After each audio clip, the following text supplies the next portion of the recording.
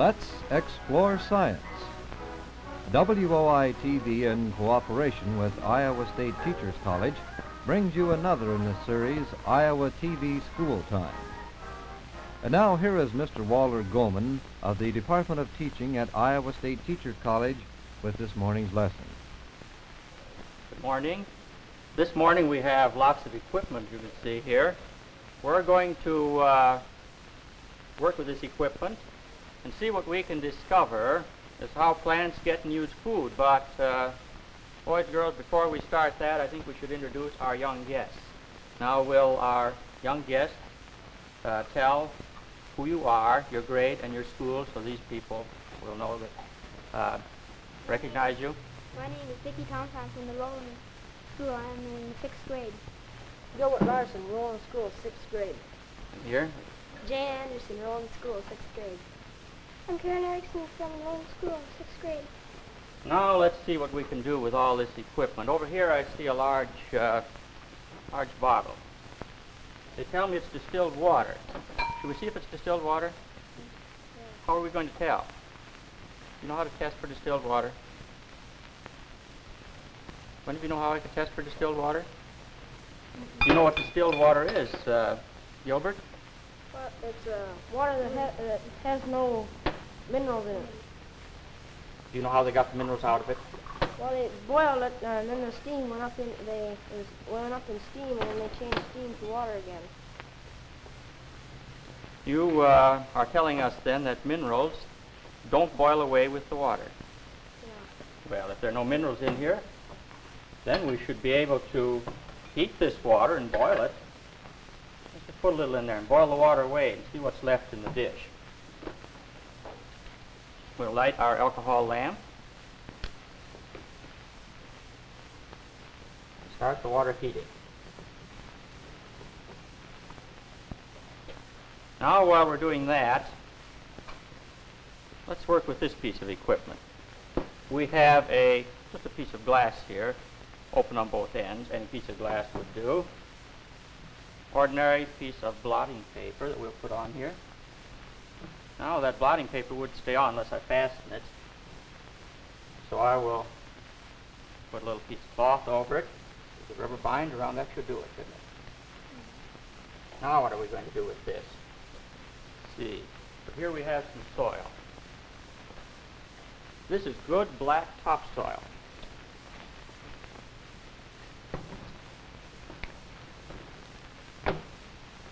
Pour some of this soil in this jar.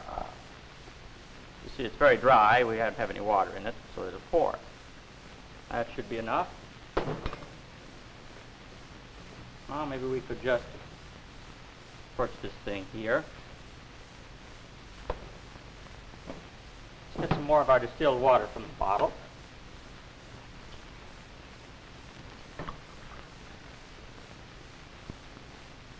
We have a good supply, don't we? Let's pour this water on here. What do you observe happening? to The dry soil. Getting wet. It's getting wet. You see the water going down? Yeah. Now that water should run on through the soil. And I think we'll have to wait for the water to get through, so let's, uh, uh, let's do something else. Over here I have two geranium plants. We, we have lots of equipment this morning, don't we? Let's put them right out here. Monday when I got these from the greenhouse, they both looked about the same. Do you see any difference in them now? Karen, do you see any difference? Well, uh, one of the right is, uh, This one? yes, What's- uh, it is beginning to, leaves are beginning to get white. Yes, I think, uh, wet. I think they're shriveling a little. I kept this very wet. But this one doesn't look quite as healthy, does it? They seem to be just turning sort of droopy over. Yes, it doesn't look very healthy. I'll tell you what I did with these geranium plants. This one was kept on a windowsill in very good light. I have a closet back at Teachers College. It's very dark. No light can get in. And I put this one in there Monday. And uh, it's been in there since Monday. Now I'm going to uh, take this one back and put it in the closet again and save it for a few more weeks. Now, the boys and girls listening to this might try this same experiment, and when we come back on another TV show, you could check your results with ours. What do you suppose uh, was lacking in that dark closet? What uh, did the, do Sunlight. you suppose a lamp would have done as well? Do you know? Yes. It had no sunlight. All right. Why do plants need sunlight? They, they gotta have uh, carbon in the air, carbon dioxide from the air. You're getting, you're on the track. They need carbon dioxide from the air. What are they going to do with this carbon dioxide from the air? Make it into sugar. Make it into sugar. Uh, I have a carbon dioxide molecule here. You see it has one atom of carbon and two atoms of oxygen. We show this on another TV program. Here I have one, two, three, four, five, six molecules of carbon dioxide. Do you think you could uh, take these six molecules of carbon dioxide and make one molecule of sugar out of them without using anything else? Gilbert, do you think you could do that? No. What else do you need? Well, you, you need, uh, well, you have to have oxygen. Well, you have some oxygen here. What do we have in the sugar? You remember what these yellow ones stood for? The, uh, these are hydrogen. These stand for hydrogen. These are carbon. And these are oxygen. Now, if we just took the carbon dioxide, what would be missing? Hydrogen. Wouldn't have any hydrogen. You see any hydrogen here? Right there. You know what those molecules are? You know what those molecules are? Water. Molecules of water. Now, Gilbert, I wonder if you could take these six molecules of water and these six molecules of carbon dioxide, take them all apart, and build a molecule that looks just like this. While you're doing that, we'll go on with uh, something else. Over here, we have a little dry ice. Can I handle this with my hands? Can I handle it with my hands? You say for a little bit. Is it safe to handle your hands? Have you tried handling it? Is it very cold? Let's chip a piece from this. Uh, chip a piece of dry ice from this. Who can tell me what dry ice is? Anyone tell me what dry ice is? That's a good way to say it. Solid carbon dioxide. I'll put it in this flask. And uh, here I have a little bottle of lime water. Let's pour a little lime water on the dry ice.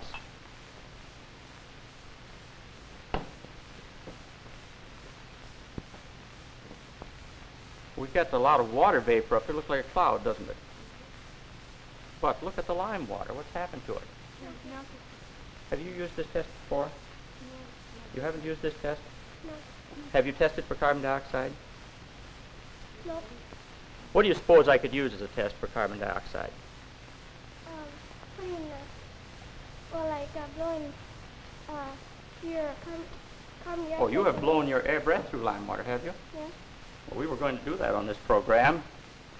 Uh, what do you suppose I could use as a test for carbon dioxide? If dry ice is carbon dioxide and I put it in lime water and the lime water gets milky, do you see any test I could use for carbon dioxide?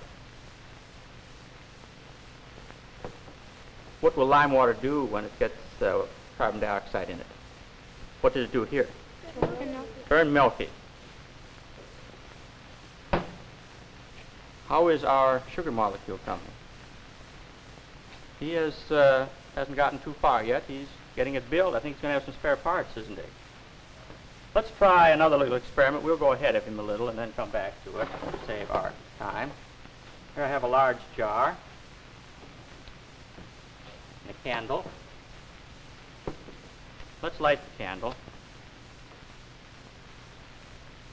That must have been a little wet. There it's burning. Now we'll wait until the candle starts to burn just a little better.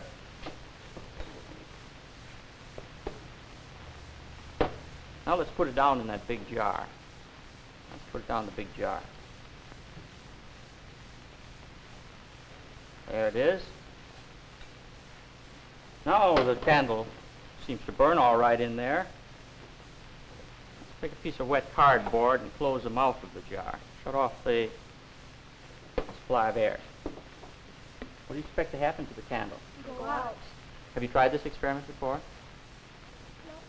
No. Why will the candle go out, Dick? There's no air in there. Why does the candle need air? I'll keep the flame going. What uh, part of the air does the candle use to keep the flame going? Do you know? Oxygen's right, yes. Well, the ca- candle is still doing very well, isn't it? No, it isn't. It's getting dimmer, isn't it? It's getting dimmer all the time. I guess it's. I guess it has used up some of that oxygen, hasn't it? Now we'll take the candle out. Remove it. Put this back over. it. What's in this bottle? Lime water. Lime water. Let's put a little lime water in there. Not that much. And we'll. You think I should shake it? Is it still clear? Let's shake it so if any carbon dioxide is in there, pick it up. Now what's happened to it? What gas was in the bottle? Carbon dioxide. You know how it got in there? Well, was there any carbon dioxide in that bottle before I put the candle in? You think it came from the flame of the candle? The, um, let's put some uh, some lime water in another in a beaker in which we have had no candle. Let's put a piece of cardboard over the mouth of that and shake it.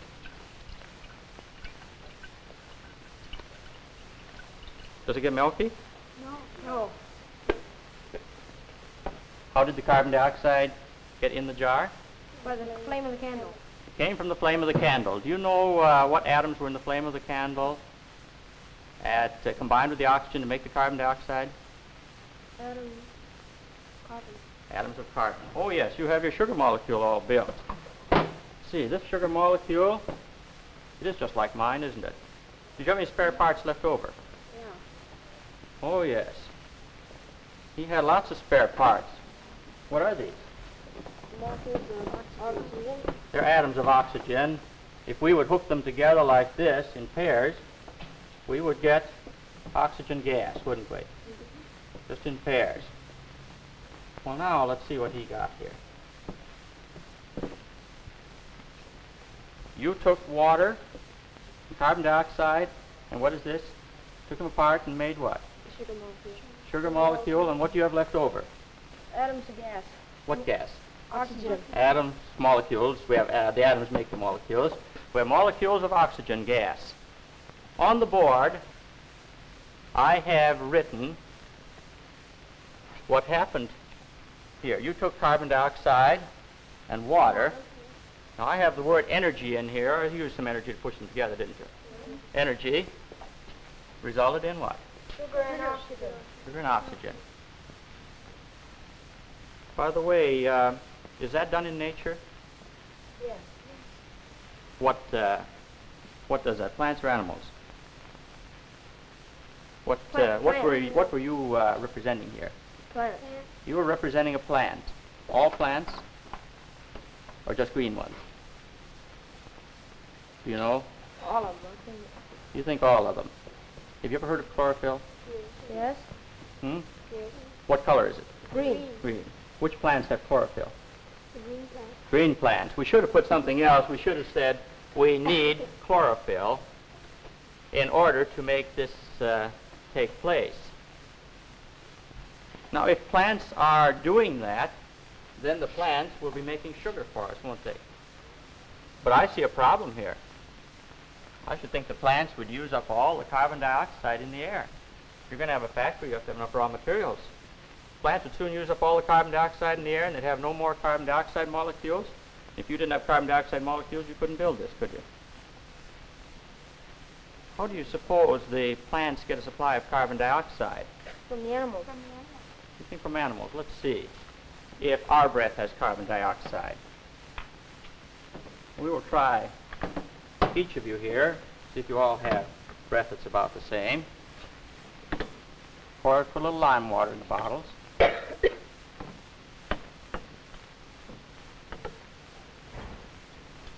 Then we'll need a soda straw.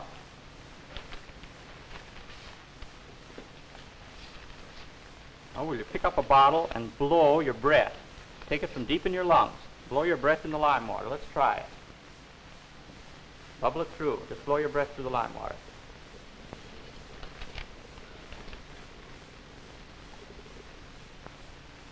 Blow a little more in there. Don't see good results yet. Uh, Jane Ann's getting results. Oh yes, uh, Gilbert's getting very good results. What's happening to the lime water? Turning milky? milky. It's turning milky. We'll put these aside, get them out of our way. What gas do you uh, breathe out from your lungs? Carbon dioxide. Is there any other way that carbon dioxide can get in the air? Think of the experiment that we did when we went ahead of Gilbert. Take a candle and uh, put her into a jar and put a lid over it. It uses, it gives off carbon dioxide and uses up the oxygen. Right, the candle gave off carbon dioxide, didn't it? Can you think of any other sources of carbon dioxide beside the candle and your breath? By plants? Okay. You think some plants give off carbon dioxide in living? Let's see if they do. But here I have some seeds that have been sprouting. You can't see them very well. There's wet fouling in the bottom. They've been sprouting and germinating. And uh, about 24 hours ago, I put this cork in so no gas could enter or leave. Now these little plants have been pushing out roots. I wonder if they have been uh, using oxygen, burning with food as much as we do. Let's see. Put a little lime water in here on these seeds. Let's shake it. Oh, notice what's happened. Let's pour it out. Turning milky. You already see that it's turned milky, haven't you? You're a very good observer. Oh, yes, it has turned milky, hasn't it? Mm-hmm. Maybe we should examine one of these seeds find out what's going on in there. Let's take one apart. You all close enough here to see the seed? Let's see, we have a little seed coat on it. We'll take that off. Put that there. And let's break the uh, bean seed in half. Well, look what I discover. What is that? The, root. The root and the top is a bean plant? Isn't very well grown yet, is it? It's just a sprout, you say. It isn't very well grown, is it? But look what I have over it. Oh, yes, I got part of the leaf off here with it. That belongs with the bean plant. Maybe that's why you didn't recognize it. Now I have something left over. Food stored up so it can grow till it has, it has a, a roots enough to, to get its own. Now you did very well the end. What does it need to get its own food? What color does it have to be? Chlorophyll. It needs to turn green to get chlorophyll, and it had to have enough energy to grow up. Let's take a look at these sprouting beans. And uh, here we have some of the same beans. They're just a little farther along. They've grown a little more than this one. Do they have their store? Are they taking their uh, stored food right with them as they come up? Yes. Where is it? Right in there and there. I wonder what would happen if we took the stored food away from some of them. Do you think they'd stop growing? Why? Are they ready to make their own food yet? Yes. Are they a little green? Yes. They're a little green, aren't they? Let's try it. Now it'll take several weeks to find out what's happened here. We'll carefully cut the stored food off without hurting the, the plant. Cut it off here without injuring the plant at all. We should do that on several of them. This one can match that one, can't it? Let's cut the stored food from this one. We're very careful not to injure the plant. I'll take these back with me and put them where they have a chance to grow and find out what happens. Maybe we can show them to you on another TV program. Let's take one more. We'll make three. Now I'll put this one in bright light. So if these green leaves can make any food, do you think the plants can still live? Yes. Here we have another. These uh, weren't so ambitious. They didn't grow up so much, did they? Let's take some of the seed halves off these.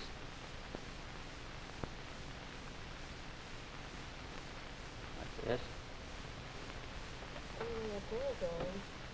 That one doesn't have much chlorophyll, does it? When some of these others come up, I will take the seed halves uh, from them. They aren't sprouted quite enough. And I'm going to put this one in a dark closet. Take the stored food away and put it in the dark closet. Do you have any idea what might happen? It won't grow. It can't make its own chlorophyll.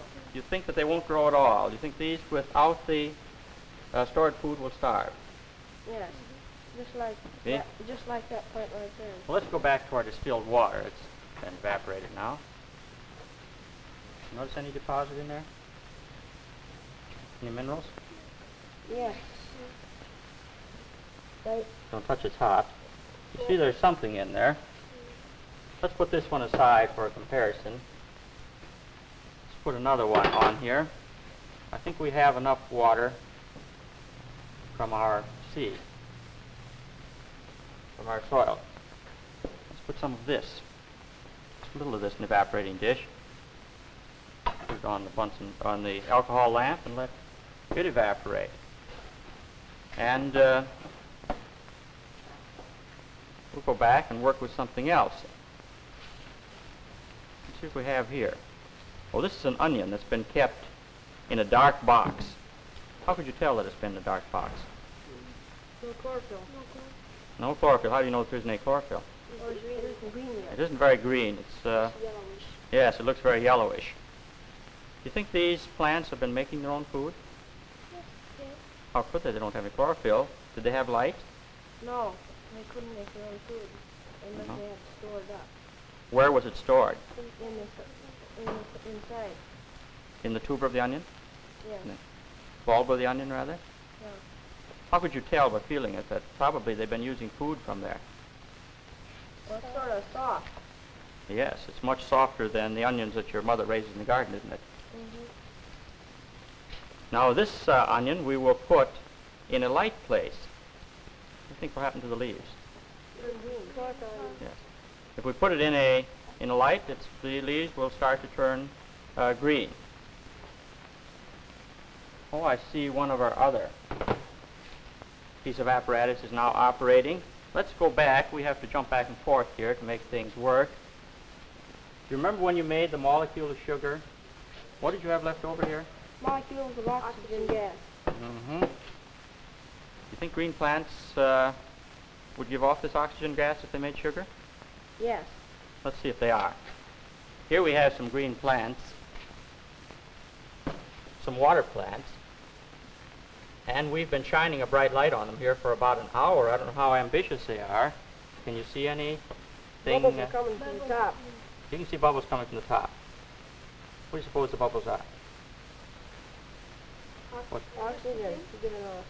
They're giving off oxygen. The, um, let's go back to our two equations on the board. This one, where, where green plants in sunlight take carbon dioxide and water molecules and put them together and have the energy of the sun and get sugar and oxygen. That process has a big name. I have it written on the board. Can you draw a line from the word up to that equation? That's right. You think you remember that big word? Photo means light, doesn't it? Like a photograph. And synthesis means to put together, like, like you put the sugar molecule together. Remember when we blow our breath through the lime water turned milky? This is what happened. Our blood carried sugar up to our cells. The sugar, the blood also brought some oxygen. And then the body put them together. And what did we get? What use do you have for the energy? How do you use the energy that you get? Gilbert? Play? When you play, do you use energy to run around and you play? Sure. Yes. Yes, you need that energy to get up to the studio this morning, didn't you?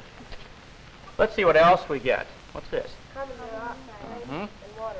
And water. We already tested to show that your lungs give off carbon dioxide. Do you know a test to show that your lungs give off water? Simple test. When we have a cold morning, Blow on the turn window pane. or you can blow on a window pane, you can see your breath. Now, do you think all that water that your lungs give off is that that was made when you burn sugar with oxygen? Or do you drink water also? Yes, you also drink water, but some of it probably was. Now I have a big word on the board. Respiration. Do you want to draw the line from respiration?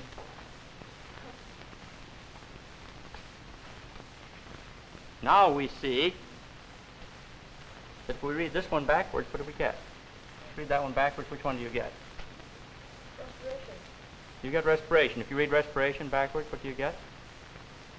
Which one do you get if you read respiration backwards? You get photosynthesis. Uh, which living thing uh, does this? Plants. Which living thing does this? Animals. Do plants ever do this? No. At night. At night, you say, when there's no sunlight on them. Do germinating seeds do this? What was our result with the germinating seeds in the lime water? Yes. They do. Now, if these two are just opposites, plants and animals should live together very nicely, shouldn't they? Is that right? Mm-hmm. They should be able to live together very uh, nicely. Well, we, that's what we have in this balanced aquarium. What are the animals? Fish. What are the, uh, what do the fish give off? The snails also. I'm glad you brought it in. What do the fish give off that's can be used by the plant? Oxygen. Oh, wait a second. What do the fish give off that can be used by the plant? Carbon dioxide. What do the plants give off that can be used by the fish? Oxygen. And they live very nicely, but you say, well, they have air here. The oxygen could come out of the air, couldn't it? Yes. Could come from the air. Now we have another little aquarium. Do we have anything living in that? Two fish and a plant. A couple snails. Oh, yes.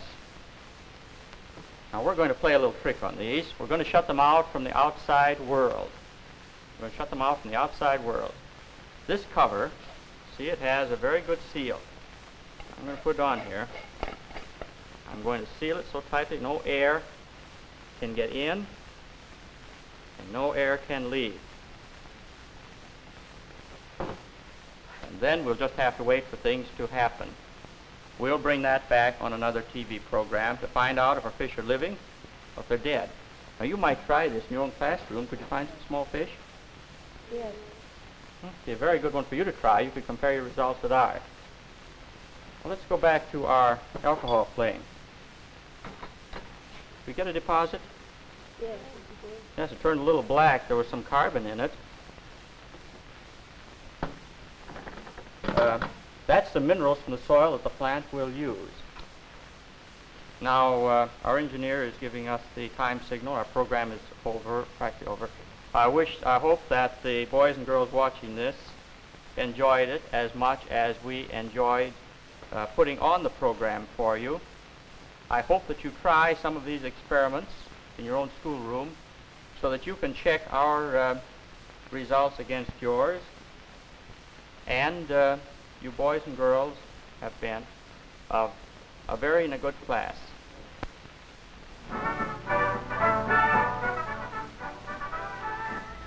Let's Explore Science has been another in the series of Iowa TV School Time, brought to you by WOI-TV, Iowa State College, State University of Iowa, Iowa State Teachers College, and the State Department of Public Instruction.